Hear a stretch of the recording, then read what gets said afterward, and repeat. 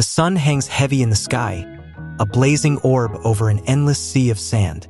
Somewhere in the vast emptiness of the Sahara, a lone vehicle cuts through the dunes. This isn't just any car. It's Maxwell Chikumbutso's self-healing marvel.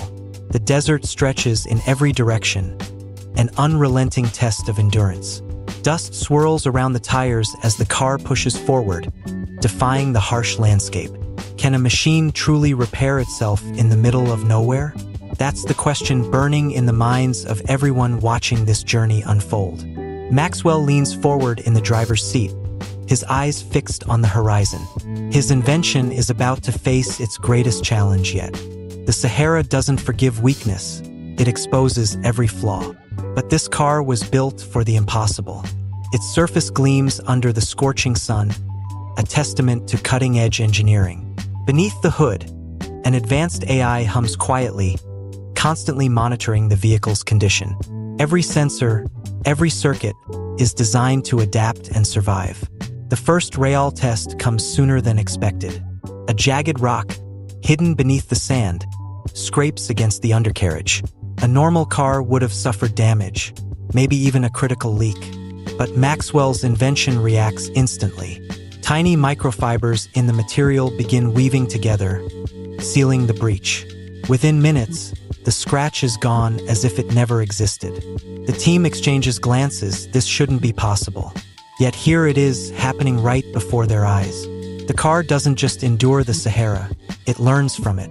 As the AI processes data from the terrain, it adjusts the suspension in real time. No human input is needed, the machine thinks for itself. Sandstorms loom on the horizon, a swirling wall of dust and wind. Most vehicles would stall or choke in such conditions, but this one was built for extremes. Its filters self-clean, its vents adjust automatically to keep debris out. Maxwell grips the wheel, but his confidence never wavers. He knows what his creation can do, the storm hits with full force, reducing visibility to near zero. The car's navigation system switches to terrain mapping, using sensors to see through the dust. It corrects course without hesitation, avoiding a sinkhole that would have swallowed a lesser vehicle. Hours later, the storm passes, leaving the team in stunned silence. The car emerges unscathed, its polished surface still gleaming. But the real test is yet to come. The Sahara's midday heat is brutal, reaching temperatures that melt ordinary tires. Yet these tires are anything but ordinary. Their compound adjusts density based on temperature, preventing blowouts. Solar panels integrated into the roof absorb energy, powering the car systems. No fuel stops, no overheating, just relentless forward motion. The team pushes deeper into the desert, where no roads exist.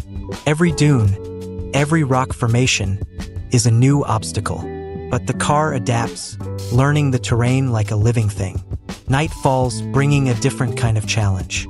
Temperatures plummet, testing the battery's cold weather resilience. Yet the energy cells hold strong, warmed by their own efficient design. Under the stars, Maxwell explains the science behind the self-healing tech. It's not magic. It's years of trial, error, and relentless innovation. The next morning, disaster strikes. A sharp metal shard, buried in the sand, slices through a tire. For a normal vehicle, this would mean a grueling repair or worse, being stranded. But Maxwell's car doesn't panic. The damaged tire begins regenerating, its smart material bonding back together. Within an hour, it's as good as new. The team records every moment, knowing the world needs to see this. This isn't just a car, it's the future of transportation. As the journey continues, the AI grows even more intuitive, predicts sand shifts before they happen, rerouting for efficiency. It conserves energy during the hottest hours, then accelerates when the air cools. By the time the team reaches the halfway point, the car has learned the Sahara.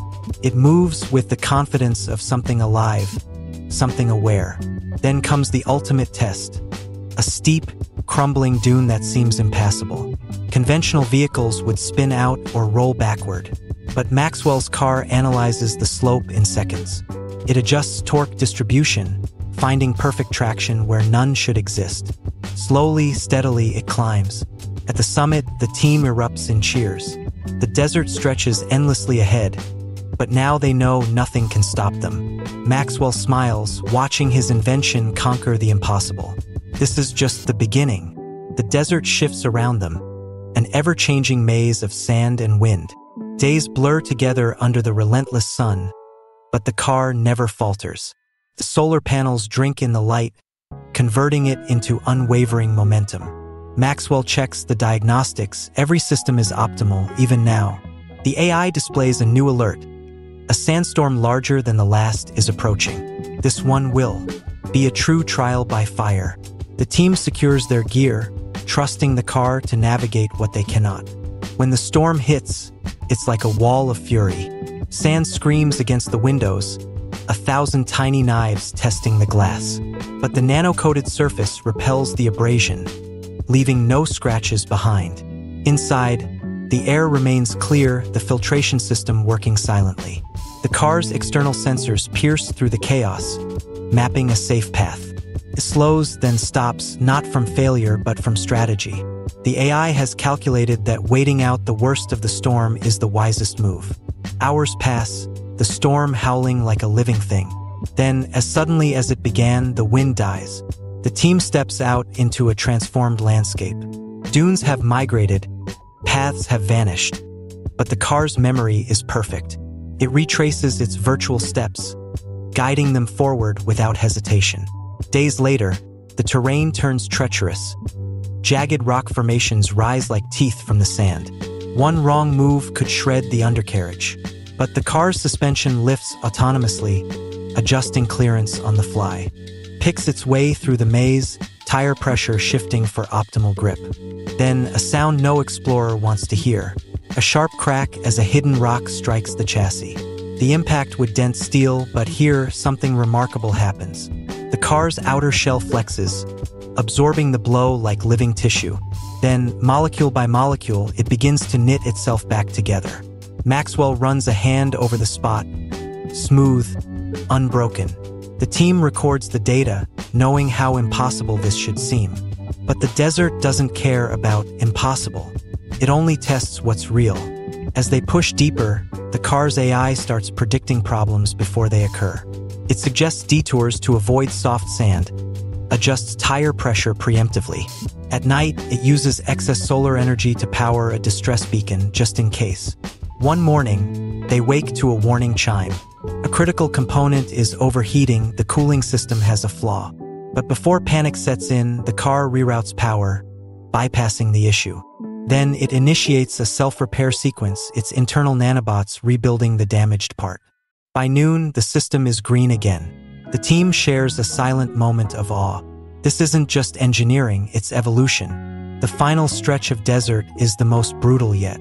The sun bleaches the sky white, the sand hot enough to burn skin. The car's external thermometer reads 58 to 137 degrees Fahrenheit. Yet the battery doesn't falter. Its liquid cooling system cycles tirelessly, shedding heat like a living organism. Then, a new challenge.